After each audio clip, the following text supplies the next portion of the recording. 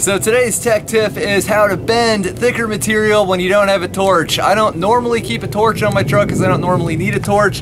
However, today, you know, I get out here, I'm working on this machine, and uh, the operator of the machine tells me he wants another step because like the cab is probably three, four feet in the air and there's only two steps.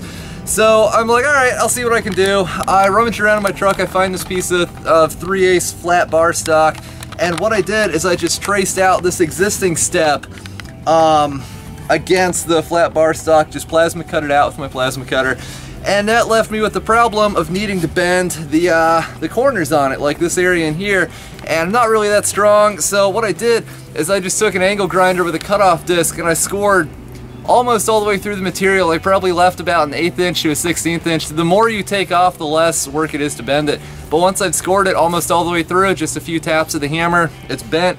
Ran like two passes at thin 7018 up the side, and we have a completely functional step in maybe 10 minutes. So, um, yeah, that's your random little tip of the day. Brought to you by myself, welding in the sticks. Thanks for watching.